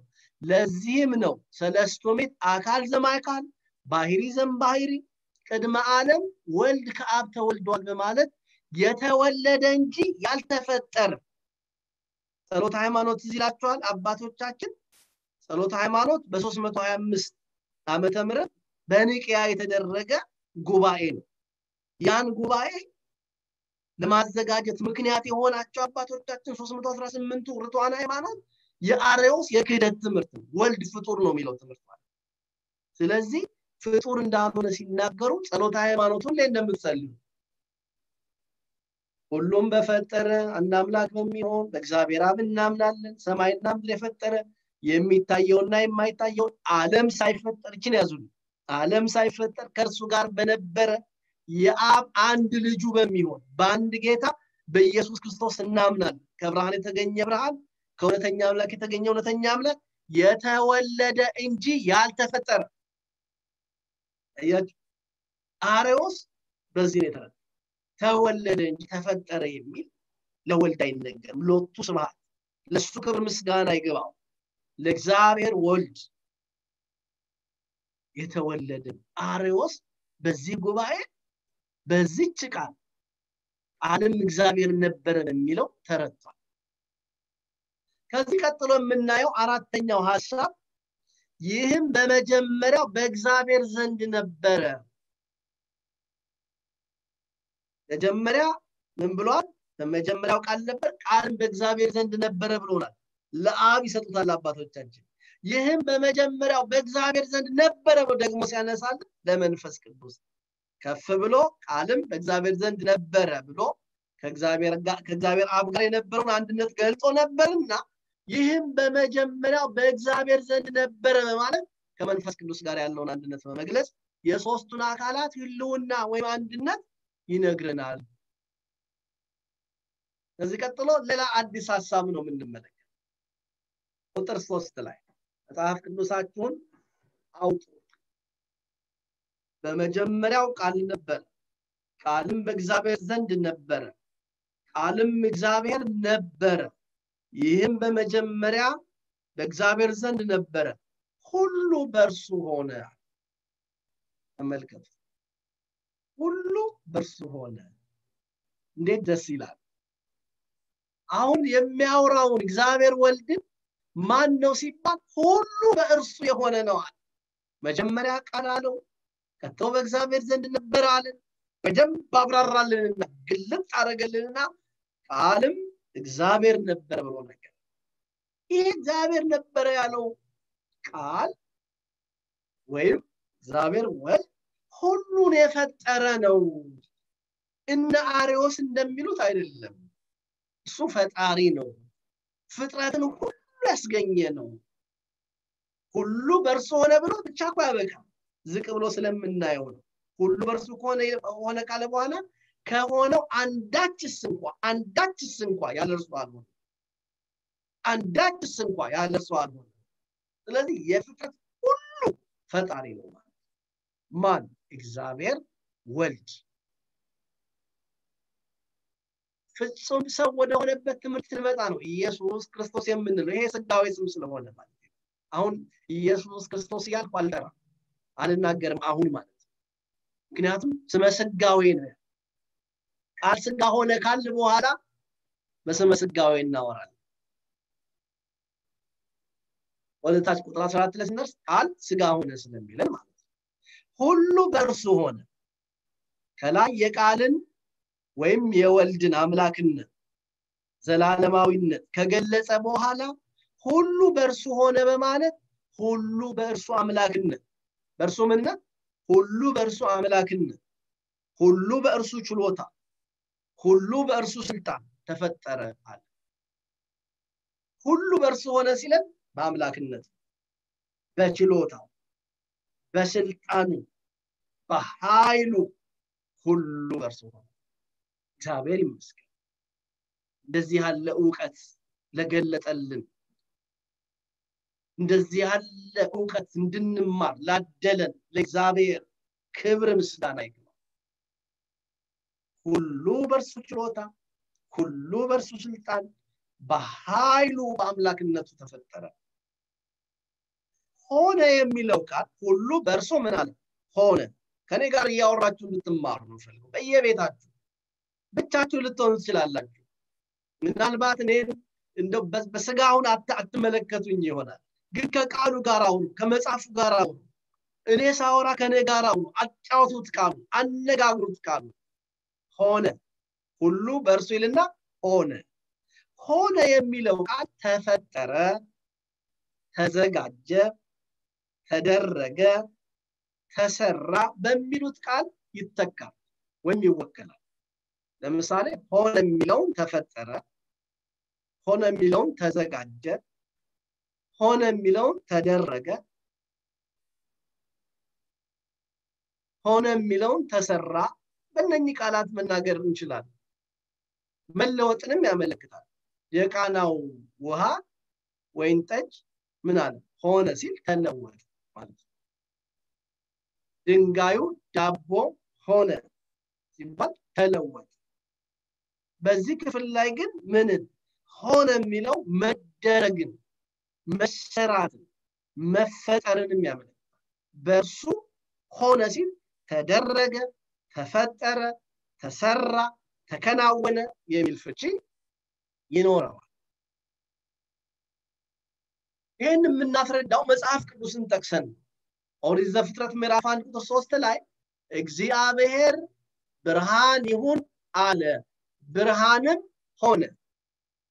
እግዚአብሔር ብርሃን ይሁን አለ። ብርሃንም ሆነ። ሆነ ማለት ተፈጠረ ተገኘ ማለት ነው። ያስገኘ የፈጠረ ማን ነው? እግዚአብሔር ነው። በቃሉ ፍጥረታትን የፈ ማን አካላዊው ቃል። ሰማያት በእግዚአብሔር ቃል ጸኑ የተባለ ሰማዮች በእግዚአብሔር ቃል ጸኑ የተባለ ሰማዮችን ሁሉ በቃሉ ያጸና በወልድ ቃልነት ነው የጸና እርሱ ብሏልና ሆኑም እርሱ አዝዟልና ተፈጠሩም ይላል። አያችሁ አሁን? ይህ መዝሙር 148 ቁጥር እርሱ ብለዋልና ሆነ። በነጠላ አንቀጽ አንብቡ። እርሱ አዟልና ተፈጠረ። ሆነ ያለውን ሲተረጉመው ተፈጠረ። ሁሉ በእርሱ ሆነ የሚለው ቃል ለአሪዮስና ተረፈ አሪዮሳውያን መልስ ምክንያቱም ሁሉ በእርሱ ሆነ ካለ እርሱ ከፍጥረት ሁሉ በፊት የነበረ መሆኑ እርሱ የፍጥረት ሁሉ ባለቤት እንደሆነ እርሱ ሁሉን ያስገኘ ነው። አሪዮስ እንደሚለው አይደለም። አሪዮስ ተሰነካክሎ የወደቀው የእግዚአብሔርን ወልድ ወይም ቃል የተባለውን ከዘላለም አምላክ መሆኑ አለማወቁ። አንድ ጊዜ ሳተ በዚህ ትምህርት ጠፋ እኛ አባቶች ይሄንን አሪዮስን ሲያወግዙ ይሄ የዮሐንስን ወንጌል ጠቅሰው ነው። ጸሎተ ሃይማኖት ይላችኋል ሁሉ በእርሱ ሆነ ከሆነው አንዳችስ እንኳን እርሱ ፈቃድ አንዳች አልሆነም በሰማይም ካለው በምድርም ካለው እያልን ምንጸልይ እንዴት ደስ ይላል! እንዴት ይገባል! ስለዚህ ሁሉ በእርሱ ሆነ በሚለው ቃል አሪዮስ ተረቷል አሪዮስ ብቻ አይደለም። ይሄ ግኖስቲክ የሚባሉ ወይም ግኖስቲኮች የሚባሉ መዳን በእውቀት ነው ብለው የሚያምኑ ናቸው ግኖስቲክ መዳን በእውቀት ነው ብለው ነው የሚያምኑት። ሰው ለመዳን የሚያበቃው እውቀት ነው ብለው ግኖሲስ ይባላል። በዚህ በጽሩ ወይም ግሪክ ቋንቋ እውቀት ማለት ነው። ግኖሲስ ማለት ስለዚህ አንድ ሰው ሚድ ነው በእውቀት ነው ብለው ትምህርታቸው ግኖቲሲዝም ነው የሚባለው የፍልስፍና ሰዎች ናቸው የጥበብ ሰዎች ናቸው እና አርጌንስ የሚባሉ ሌሎችም ሰዎች ይህን ትምህርት ሲያስተምሩ የነበሩ ነበር እና እነሱም ስለ ፍጥረት ሲናገሩ ምን ይላሉ? ደግ ደግ የሆነውን ነገር ሁሉ የፈጠረው ደግ አምላክ ነው ደጉ አምላክ ደግ ደግሞም ሲፈጥር ክፉ አምላክ ደግሞ ክፉ ክፉን ነገር ፈጠረው ለምን? ለምሳሌ የምትጠሉትን ነገር በምድር ላይ ነገር በጣም ከእንስሳት ሊሆን ይችላል ከአራዊት ሊሆን ይችላል ከተፈጥሮ አንድ የምትጠሉትን ነገር ይሄን ክፉ አምላክ የፈጠረው ክፉም ይሁን ደጉ የተፈጠረው ሁሉ ግን በማን? ሁሉ በእርሱ ሆነ። ከሆነው አንዳችስ እንኳ ያለ እርሱ አልሆነም። በምድር ላይ ያለ የሚኖረው ሁሉ የተፈጠረው እግዚአብሔር ወልድ ወይም ቃል በተባለ አሁን ስለሱ እያወራን ስለሆነ ያለ ነው እግዚአብሔር ነው የተፈጠረ መጽሐፍ ቅዱስ ዕብራውያን ምዕራፍ 11 ቁጥር 3 ላይ አለሞች በእግዚአብሔር ቃል እንደተዘጋጁ እናምናለን የሚል ቃል አለም ሁሉ የተዘጋጀው በእግዚአብሔር ነው። በእግዚአብሔር ነው።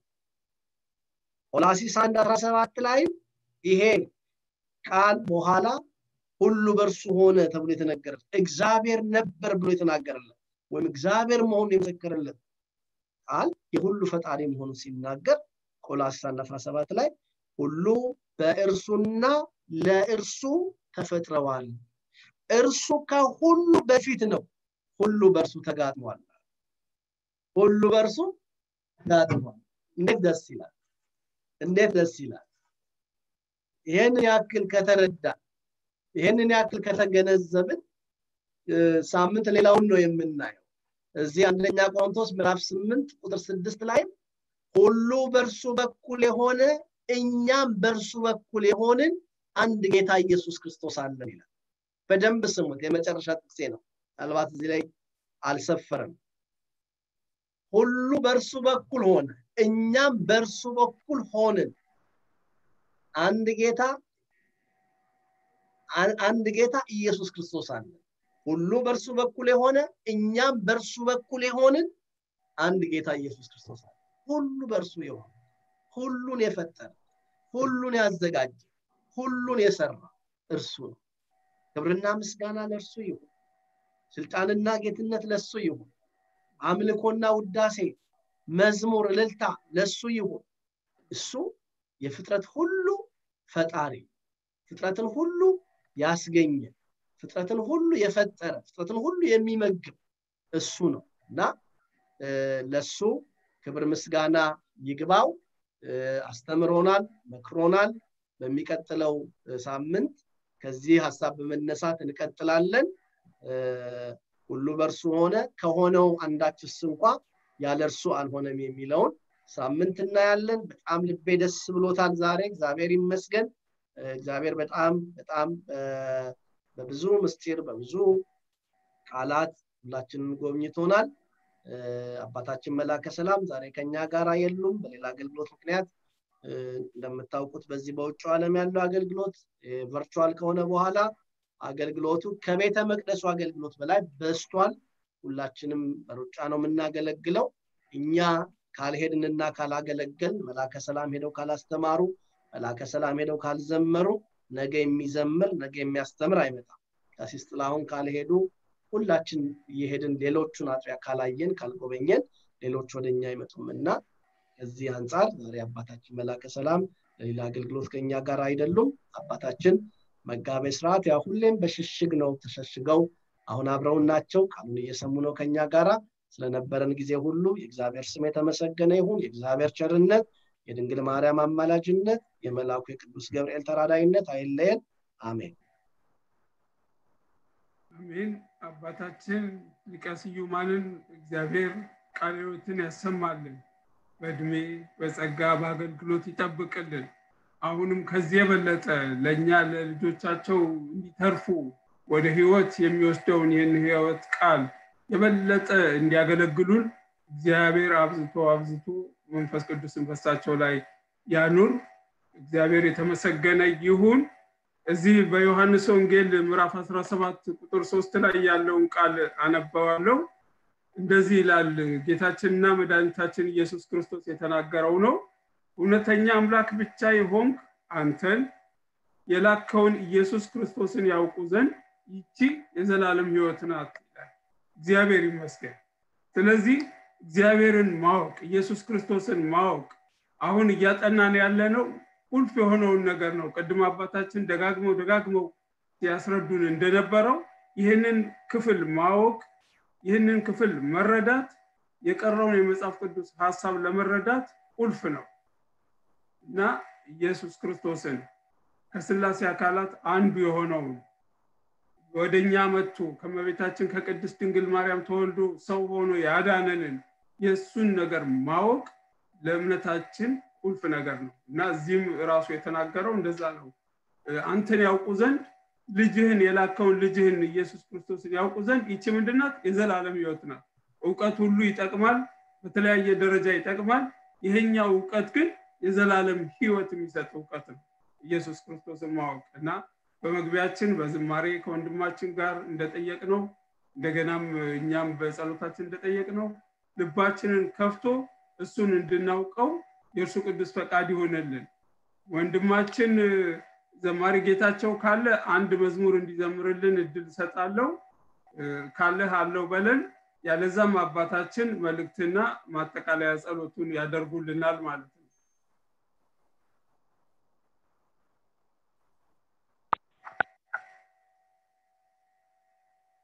አለው ይሰማል? ይሰማል። ቀጥል እሺ እግዚአብሔር ይስጥልኝ። በድጋሚ እንደምን አመሻችሁ ለምጠራኝ ላንተ ለምጠራኝ ላንተ እምቢ እንዳልል እኔ የሰማሁትን ቃል ለህይወት አድርግልኝ እያልን እንዘምራለን። ለምጠራኝ ላንተ እምቢ እንዳልል እኔ ማስተዋል አደለኸኝ በሕይወት ዘመኔ።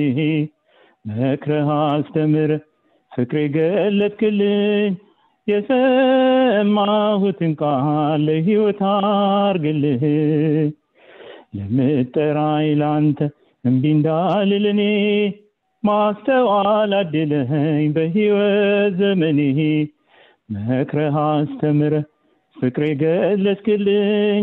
የሰማሁትን ቃል ለሕይወት አርግልህ ለምጠራኝ ላንተ ኃጢአቴን በሙሉ በአንተ ፊት ያለው። ለምጠራኝ ላንተ በደሌን ክፋቴን እኔ እናዘዛለሁ። ለምጠራኝ ላንተ የማዘነጋኝ ነህ በዘመኔ ሁሉ። ለምጠራኝ ላንተ ማረኝ ይቅር በለኝ ይብቃኝ መበደሉ።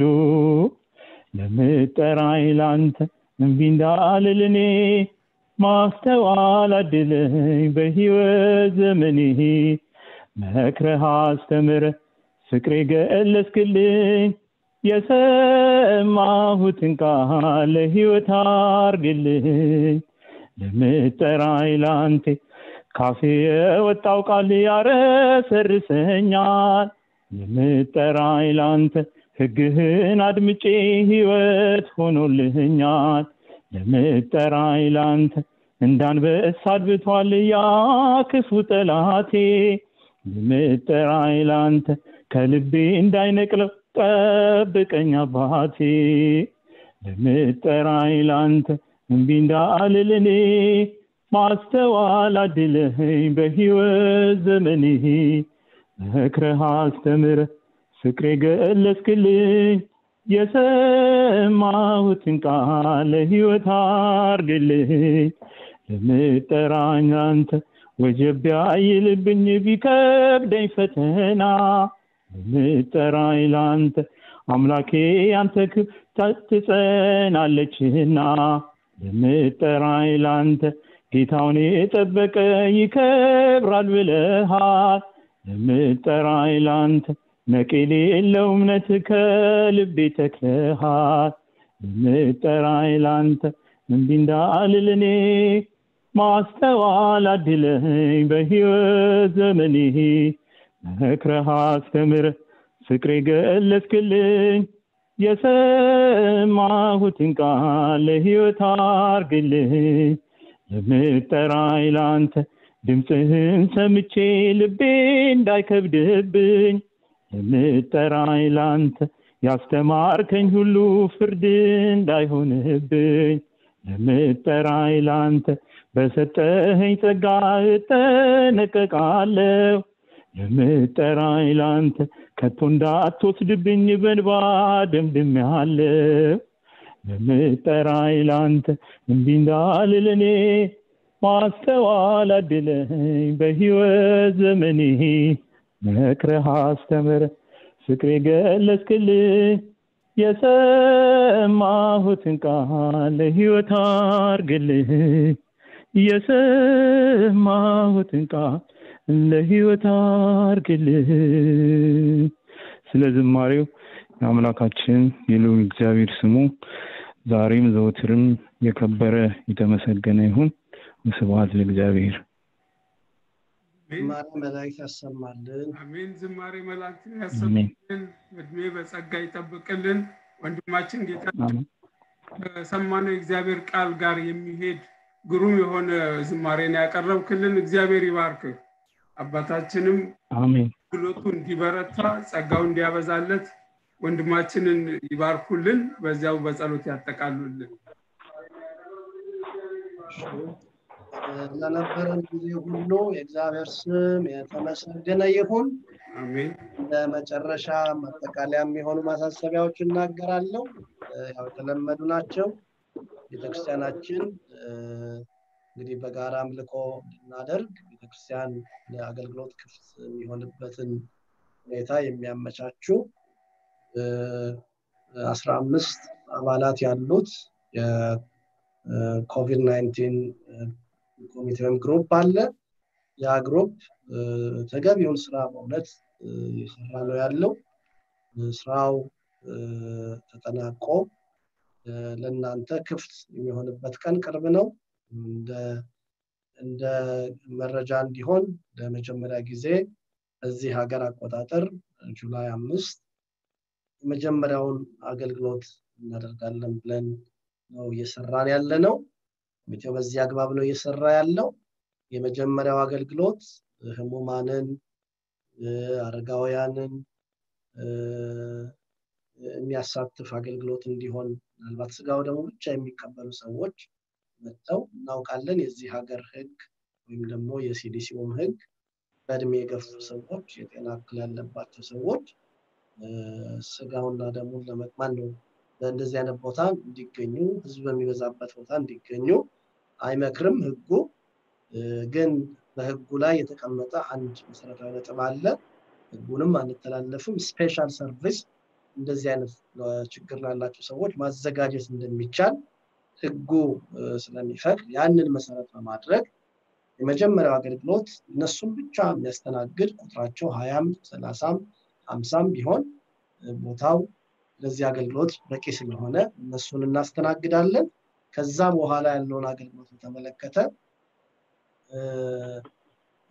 ሁላችንንም በየተራው ቦታው በሚፈቅደው መንገድ በየተራው እናስተናግዳለን። ይሄንን ስራ የሚሰራው group ምናልባት ትናንት አንድ link የቅጽ የሚሞላ ቅጽ ወደ እናንተ ተሰራጭቶ ነበር። ጥቂት ማሻሻያ ስላለው ነው ወንድሞቻችን እጹም በኋላ ያዘገዩት ያቆዩት የጎደሉት ነገሮች ሞልተው ተስተካክለው በጥቂት ቀናት ውስጥ ወደ እናንተ እንደገና ተመልሶ ይላካል። እሱም ለአዲስ ትሞላላችሁ። መጠይቁ አባላት የተዘጋጀ ከሆነ አባላት ሌሎችንም የሚመለከት መጠይቁና የተሟላ ነገር ካለው አባላት ያልሆናችሁ ሰዎች በመሙላት ትሳተፋላችሁ። እንደ መጠይቁ ይዘት ማለት ነው። ይሄ ነው የሚሆነው። ከዛ ውጭ በተለያዩ ስራዎች ቮለንቲር ሆናችሁ እንድታገለግሉ ጥሪው በተደጋጋሚ ሲቀርብ ነበር። እግዚአብሔር ይባርካችሁ። ብዙዎች ተሳትፏችኋል እና ይህንኑ ነገር አጠንክረን መቀጠል ስለሚገባል መመዝገብ የምትችሉ ሰዎች ተመዝገቡ። በወር አንድ ቀን በወር አንድ ቀን ብቻ በምታገለግሉት እና እንደው ወደኋላ በስንፍናም በሌላም ምክንያት ወደኋላ ባትሉ ስራው ከባድ አይደለም። ምናልባት training ይሰጣል። እጅግ በጣም ቀላል በጣም ቀላል ሁላችንም ልንሳተፍበት የሚገባ ቤተክርስቲያናችንን አገልግሎታችንን በጣም በጥንቃቄ ለማድረግ እንዲረዳ ታስቦ የተቋቋመ ኮሚቴ በጣም በአግባቡ እየሰራ ስለሆነ ይህንኑ በተመለከተ volunteer ሆናችሁ እንድትመዘገቡ በፍቅር እናሳስባለን። ከዛ ባሻገር የስብከተ ወንጌሉን አገልግሎት በተመለከተ በተለይ በዚህ በዩቲዩብ ቻናል የምናስተላልፈውን መልእክት ዩቲዩባችንን subscribe ያላደረጋችሁ አድርጉ። እንደው ዝም ብሎ እንደ ዩቲዩብ ነጋዴዎች እንዳትረዱት፣ subscribe አድርጉ ሲሉ አላማው እናንተ subscribe ባደረጋችሁ ቁጥር መልእክቱ ብዙ ሰዎች ጋር እንደሚደርስ ስለምንረዳ ከዛ ውጭ ይሄ ዩቲዩብ የተቋሙ ወይም ደግሞ የቤተክርስቲያኑ ስለሆነ እዚህ ጥቃቅን ሳንቲም ጋር የተያያዘ አጀንዳ የለውም። አላማው መልእክቱ ለሁላችሁም እንዲደርስ ኢትዮጵያም፣ አውሮፓም ወደዚህ ወደ Middle East ም ወዳሉት ወደ ሁሉም ደርሶ ምዕመናን እንዲጠቀሙበት ቤተክርስቲያናችንም በመላው ዓለም አገልግሎቷ እንዲታወቅ ለማድረግ ነው እና እስካሁን subscribe ያላደረጋችሁ ሰዎች ካላችሁ ከዚህ በኋላ subscribe አድርጉ። ከዛ በኋላ ደግሞ ያያችሁትን ለሌሎች አካፍሉ፣ share አድርጉ። ይህንን መልእክት ተግባራዊ እንድታደርጉ እናሳስባለን። በቫይበር group ኣችን ላይ ተሳትፎ አድርጉ።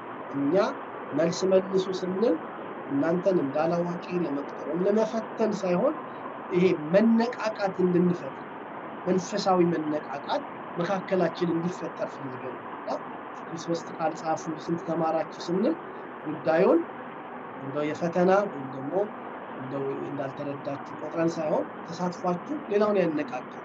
እኔ ያየሁትን ሀሳብ ሌላው አያይ እኔ የተማርኩትን ክፍል ሌላው አልተረዳውም እና በዚህ መንፈሳዊ እውቀት በየሳምንቱ እናዳብራለን እና በዚህ ተሳተፉ። ስለነበረን ጊዜ ሁሉ እግዚአብሔር ስም ቡሩክ ይሁን። አነሳስቶ ላስጀመረን አስጀምሮ ላስፈጸመን ለልዑል እግዚአብሔር ክብርና ምስጋና ይሁን። የቤታችን የድንግል ማርያም ቃል ኪዳኗ የቅዱስ ገብርኤል ተራዳኢነት አይለየን። ቀኑን በሰላም ያዋለን አምላክ ምሽቱን በሰላም በይቅርታ ባርኮ ያሳድረን። አምላካችን እግዚአብሔር ሀገራችንን ኢትዮጵያን እንደምታውቁት አሁን COVID nineteen ኢትዮጵያን ላይ በተለየ ሁኔታ እየተስፋፋ ነው እና ደሃይቱ ሀገራችንን በጸሎት አስቦ የተለያየ material መላክ የምትችሉ በኤምባሲው በኩልም እየተደረገ በእውነት በኤምባሲው በኩል አንዳንድ ስራዎች የተሰሩ ስለሆነ በኤምባሲው በኩል በግላችሁም ቢሆን ከዚህ ከንጽህና መጠበቂያ ጋር የሚደረጉ አስተዋጽኦችን አድርጉ። እውነት ለመናገር የአብነት ትምህርት ቤቶች በአሁኑ ሰዓት እንዴት እንደሚሆኑ ሳስብ፣ ምክንያቱም ንጽህና መጠበቂያ እንደ ልብ አያገኙም። የቆሎ ትምህርት ቤቶች ተማሪዎች ምግብ አያገኙም። ገዳም የሚሄድ ገዳማት የሚጎበኝ የሚመለከት ሰው የለም። የገጠር አብያተ ክርስቲያናት ጎብኚ አይኖራቸውም። እንኳን የገጠሮቹ የአዲስ አበባ አብያተ ክርስቲያናት የተዳከሙ ነው። በጎዳና የሚኖሩ ወጣቶች ይቸገራሉ፣ አረጋውያን ይቸገራሉ እና እንደው የምትችሉትን እንደ አጥቢያ ተመካክረን ሰበካ ጉባኤው ተወያይተን የሆነች ነገር እንደ አጥቢያ ልናደርግ እንችል ይሆናል ወደፊት ወስነን ተመካክረን ተገቢ መሆኑን ሰበካ ጉባኤው ሲታመንበት አጥቢያችን ወይ ለገዳም ሊሆን ይችላል፣ በመንግስት በኩል ሊሆን ይችላል፣ ወይ በኤንጂኦዎች በኩል ሊሆን ይችላል። ይሄን ኮቪድን በተመለከተ አንድ መንፈስ እንሰራለን። በግላችሁም ደግሞ በእውነት ማድረግ የምትችሉት ነገር ካለ አስቡበትና ከሰበካ ጉባኤው ጋር ተመካከሩ፣ ከካህናቱ ጋር ተመካከሩና መክረን አንድ ገዳም ብንረዳ፣ አንድ ተቋም ብንረዳ ኢትዮጵያ ያሉ ወንድሞች አገልጋዮች እንደው ሀገር ለሀገር እየተንከራተቱ በየአብነት ትምህርት ቤት ያሉትን ሲረዱ ሳይ እኛ ውጭ ሀገር ኖረን እኛ የምንልከው አንድ መቶ ዶላር ብዙ ችግረኞች እንደሚረዳ እያሰብ አለመስራታችን የህሊና ወቀሳ ለእኔ ለግል ሆኖብኛልና እንደው ባካችሁ አስቡበት። ግን የምንሰራው ስራውን በግል ሳይሆን ከሰበካ ጉባኤው ጋር ተመካክል እና የሚሆነው እናንተ በልባችሁ አመላልሱ። ሰበካ ጉባኤው ጋር አባቶች ጋር ከምዕመናን ተወካዮች ጋር መክረን ይህን እስቲ እንስራ ብለን የበረከት ስራ እንሰራለን። ቤተሰቦቻችሁን ተጠንቀቁ በሏቸው። ወላጆቻችሁን፣ አረጋውያኑን፣ በሽተኞቹን ተጠንቀቁ በሏቸው። ከትናንትናው እየባሰ እየመጣ ስለሆነ ተጠንቀቁ በሏቸው። እዚህም ያላችሁ ተጠንቀቁ፣ እንጠንቀቅ። እግዚአብሔር ከክፉ ሁሉ ይጋርደን። አባታችን ሆይ በሰማያት የምትኖር ስምህ ይቀደስ፣ መንግስትህ ትምጣ፣ ፈቃድህ በሰማይ እንደሆነች ትሁን። የዕለት እንጀራችንን ስጠን ዛሬ፣ በደላችንን ይቅር በለን እኛም ይቅር እንደምንል እንጂ መንግስት ያንተ ናትና ኃይል፣ ክብር፣ ምስጋና ለዘላለሙ አሜን። እመቤታችን ቅድስት ድንግል ማርያም ሆይ በመልአኩ በቅዱስ ገብርኤል ሰላምታ ሰላም እንልሻለን። በሀሳብሽ ሰላምታ ለአንቺ ይገባል። ከሴቶች ሁሉ ተለይተሽ አንቺ የተባረክሽ ነሽ፣ ፍሬ የተባረከ ነው። ጸጋን የተመላሽ ሆይ ደስ ይበልሽ፣ ልዑል እግዚአብሔር ከአንቺ ጋር ነውና ከተወደደው ልጅ ከጌታችን ከመድኃኒታችን ከኢየሱስ ክርስቶስ ዘንድ ይቅርታን ለምኝልን ኃጢአታችንን ያስተሰርይ ዘንድ ለዘላለሙ አሜን። ሠራዬ ኃጢአት ኢየሱስ ክርስቶስ ስራይ ኃጢአቴ የዋ ኃጢአተ ሁሉ ህዝብ ከስናቁ በድፍረት ሳናቅ በስህተት ከልጅነት እስከ እውቀት የሰራነውን የማይሰራ ኃጢአት እግዚአብሔር ይፍታ፣ እግዚአብሔር ይፍታ። እግዚአብሔር ይባርካችሁ። የሰላም ሌሊት ያደርግላችሁ። ሰላም እደሩ።